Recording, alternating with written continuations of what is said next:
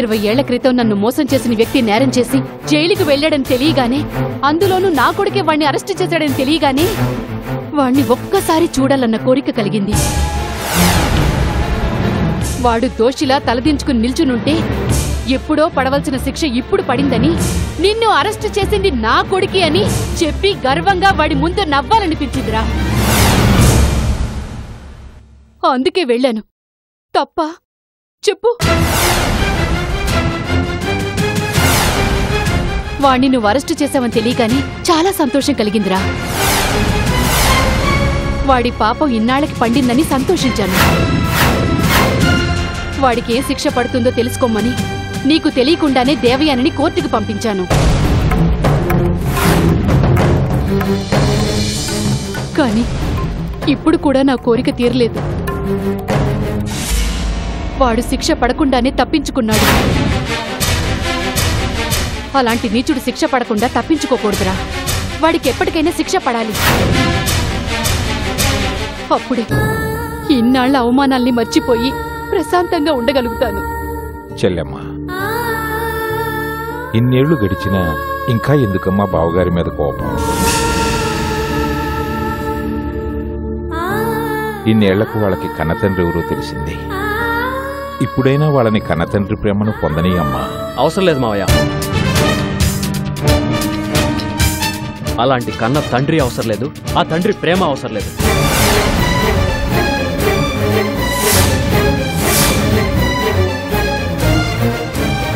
ఇన్నాళ్ళు అమ్మ ఎన్ని కష్టాలు పడిందో నువ్వే ప్రత్యక్షంగా చూసావు కదా మావయ్య.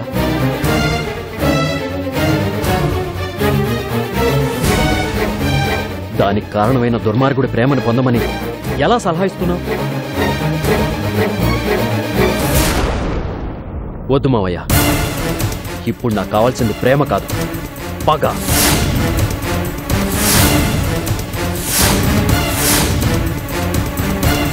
నా కన్న తల్లి ఇన్ని అవమానాలు ఎదుర్కోవడానికి కారణమైన వాణ్ణి ఊరికే వదిలిపెట్టను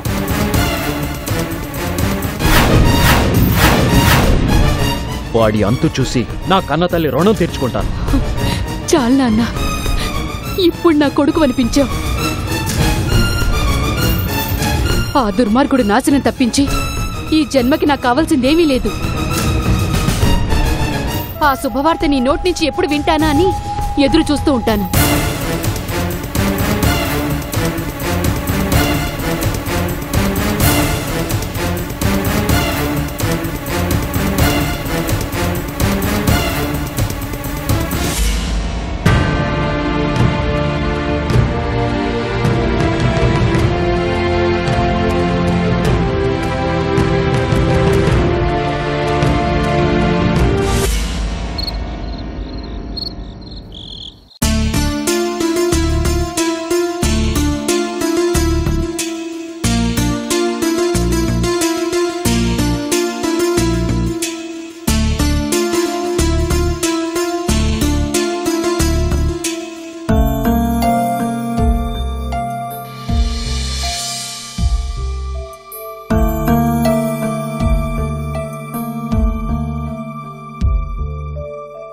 దేవయాని.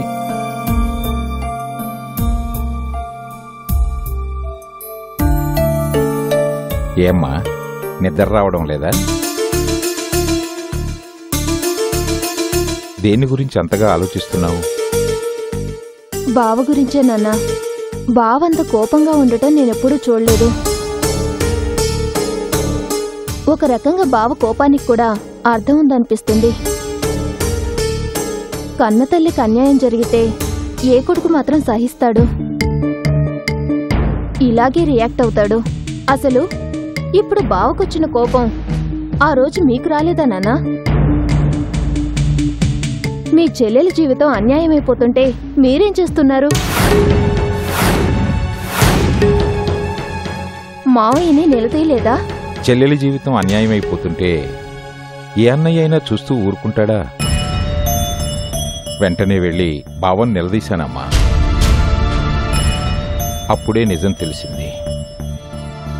నిజానికి శ్యామలా బావ కాలేజీలోనే ప్రేమించుకున్నారు.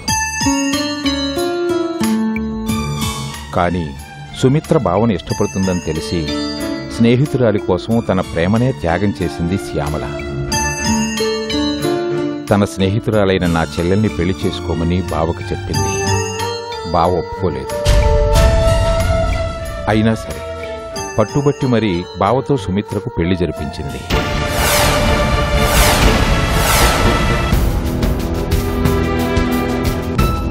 కానీ తాను దగ్గరగా ఉంటే బావ తన గురించే ఆలోచిస్తూ సుమిత్రతో సరిగ్గా ఉండడం లేదని వారికి దూరంగా ఉండడం కోసం తన వెంటబడుతున్న ప్రకాష్కు దగ్గర అయింది శ్యామల. దాన్ని అడ్వాంటేజ్గా తీసుకున్న ప్రకాష్ శ్యామలను మోసం చేశాడు. తను గర్భవతయింది. ఎక్కడ శ్యామలను పెళ్ళి చేసుకోవాల్సి వస్తుందోనని శ్యామల గురించి చెడుగా ప్రచారం మొదలుపెట్టాడు ప్రకాష్. ఆ డిప్రెషన్లో ఉన్న శ్యామలకు యాక్సిడెంట్ జరిగి హాస్పిటల్లో జాయిన్ అయింది. తనకు జరిగిన అన్యాయాన్ని బావకు చెప్పి ఎలాగూ చావబోతున్నాను కదా పుణ్యస్త్రీగా చనిపోయే భాగ్యం కలిగించమని కోరింది. బావ శ్యామల మెడలో తాళి కట్టాడు. అప్పటికే ప్రకాష్ చెప్పిన మాటల్ని నమ్మిన నా చెల్లెలు ఆ సంఘటనను చూసి ఆవేశపడింది. అసలే స్వాభిమానం ఎక్కువ కదా. బావ మీద కోపంతో ఇద్దరు పిల్లల్ని తీసుకుని ఎక్కడికో వెళ్ళిపోయింది. ఈలోగా మీ అమ్మ చనిపోవడంతో ఆ బాధలో నీ బాగోగులు చూసుకుంటూ సుమిత్ర గురించి మర్చిపోయాను. బావ కూడా ఊరొదిలి వెళ్ళిపోయాడు. ఎక్కడ తిరిగిందో ఎన్ని కష్టాలు పడిందో తెలియదు కానీ కొన్నాళ్ళకు సుమిత్ర నా కంటపడింది రోజు రోజుకి సుమిత్రకి బావ మీద కోపం పెరుగుతూనే ఉంది. అసలు నిజం చెప్పి చెల్లికి అతని మీద కోపం తగ్గిద్దాం అనుకుంటే అసలు ఆ ప్రస్తావన తీసుకొస్తేనే మండిపడుతుంది. గట్టిగా చెప్తే నన్ను కూడా వదిలి ఎక్కడికైనా వెళ్ళిపోతుందేమోనని చెప్పలేకపోయాను.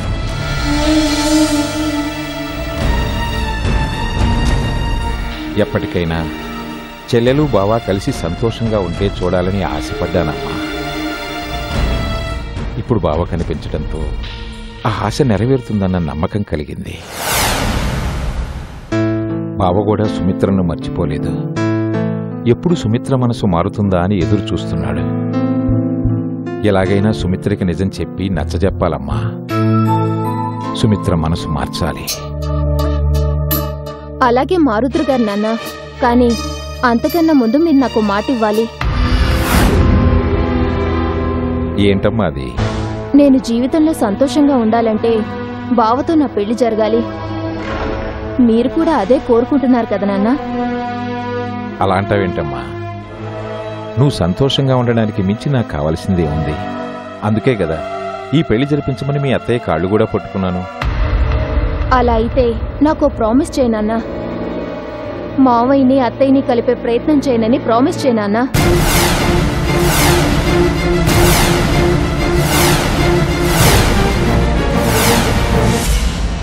అదేంటమ్మా? వాళ్ళు ఎప్పుడు కలుస్తారా అని ఎంతో ఆశగా ఎదురు చూస్తుంటే కలిపే ప్రయత్నం చేయొద్దంటావేంటి? నా పెళ్ళి జరగాలంటే తప్పదు నాన్న. మావయ్య పేరెత్తితేనే అత్తయ్య ఎంత ఆవేశపడుతుందో తెలుసు కదా. ఇప్పుడు నువ్వు వెళ్ళి నిజం చెప్పడానికి ప్రయత్నించావే అనుకో. ఇంకా ఆవేశపడుతుంది మళ్ళీ హాస్పిటల్లో చేరుతుంది. ఇద్దరిని కలపడానికి ప్రయత్నిస్తున్నామని కూడా తెలిసిందనుకో. అప్పుడు వెళ్ళిపోయినట్టే ఎవరికీ చెప్పకుండా భావం తీసుకొని మళ్ళీ వెళ్ళిపోతుంది. అప్పుడు నీ కూతురు జీవితాంతం పెళ్ళి పెటాకులు లేకుండా నీ ముందే కూర్చొని ఏడవాల్సి వస్తుంది అందుకే కనీసం నా పెళ్ళయ్యేంత వరకైనా అత్తయ్యతో నిజం చెప్పనని ప్రామిస్ చేయండి నాన్న.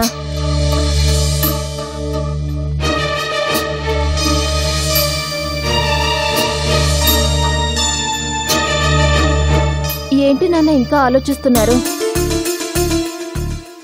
అత్తయ్యని మావయ్యని ఖచ్చితంగా కలుపుతాను నాన్న. బావతో నా పెళ్ళి జరిగాక నేనే వాళ్ళిద్దరిని కలుపుతాను. ఎంతో కష్టపడి బావని పెళ్ళికి ఒప్పించాను నాన్న. చివరి నిమిషంలో దాన్ని చెడగొట్టొద్దు. ప్రామిస్ చేయనన్నా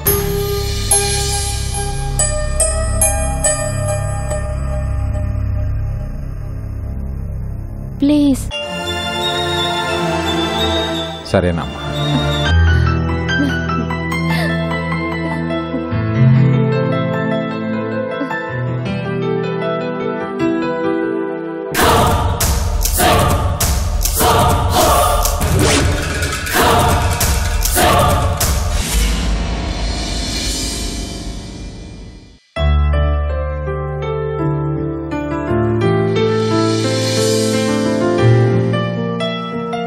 ఏమండి?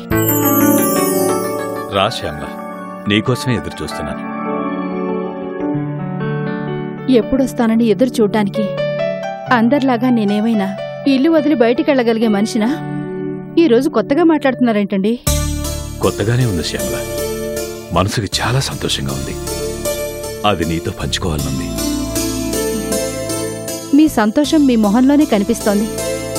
కారణం మన సంజయ్లోని మార్పే కదా? అవును శ్యామల.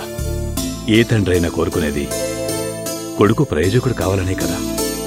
ప్రయోజకుడు కావడం అంటే మంచి చదువు చదువుకుని ఉద్యోగం సంపాదించడం అనుకుంటారు.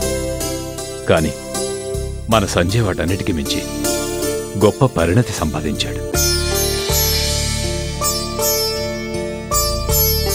గొప్ప చదువు చదువుకున్నాడు. బిజినెస్ అంతా వాడే చూసుకునేవాడు. కాని భార్య చనిపోయిన బాధలో బాధ్యతలన్నీ వదిలేసి పూర్తిగా దారి తప్పాడు. మళ్ళీ వాడి జీవితంలో బాగుపడతాడో లేదోనని చాలా భయపడ్డాను. కాని ఇప్పుడా భయం పోయింది. ఇక వైష్ణవ్ గురించి భయపడాల్సిన అవసరం లేదు. వాడిక జీవితంలో దారి తప్పడు సరికదా ఎదుటివాడిని సరైన దారిలో పెట్టడానికి ప్రయత్నిస్తాడు. వాడంతటి ప్రయోజకుడైతే అంతకన్నా కావాల్సిందేముందండి? కాని వాడిలో ఇంత మార్పు వచ్చిందంటే దానికి కారణం మీరే. మీ రక్తం పంచుకొని పుట్టకపోయిండొచ్చు. కానీ మీ వ్యక్తిత్వం మీ పెంపకమే. ఈరోజు వాళ్ళలో ఈ మార్పు తీసుకొచ్చింది. వాడు చెప్పినట్టు మీరు మా ఇద్దరికి భగవంతుడితో సమానం.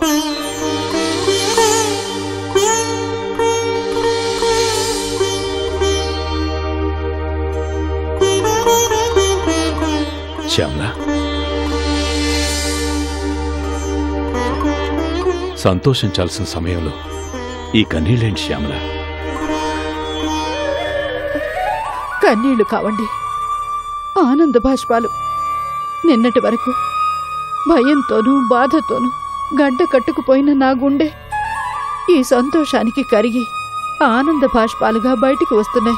అంతే. మన పెళ్ళైన ఇన్నేళ్ళలో ఏ రోజు నాకిది కావాలని నేను మిమ్మల్ని అడగలేదు. ఈరోజు అడగమంటారా? అవే మాటలు శ్యామల. మనస్ఫూర్తిగా నీ మెళ్ళో తాళైతే కట్టాను గాని ఈ రోజు నీకేం కావాలని అడగలేదు. అడుగు శ్యామల. నా మనసేంటో తెలుసుకుని కోరికలన్నీ మీరే తీర్చేస్తుంటే ఇక అడగాల్సిన అవసరం ఏముంటుందండి? కాని మీరు తెలుసుకోలేని కోరికొకటి నా మనసులో ఉంది. అందుకే అడుగుతున్నాను. అడుగు శ్యామల. ఒకసారి దగ్గరికి రండి.